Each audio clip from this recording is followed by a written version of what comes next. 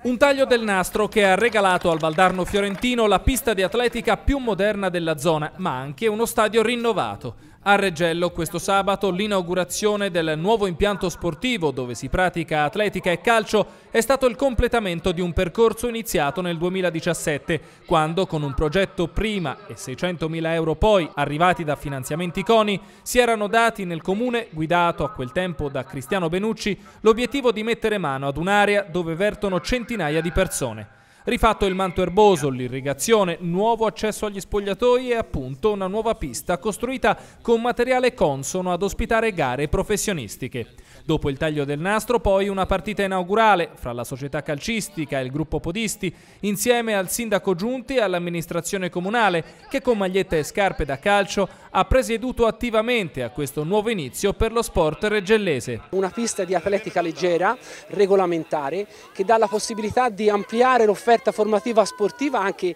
all'atletica leggera, a coloro che fino a questo giorno dovevano spostarsi da Reggello, ma al tempo stesso assume un valore importante perché possiamo qui a Reggello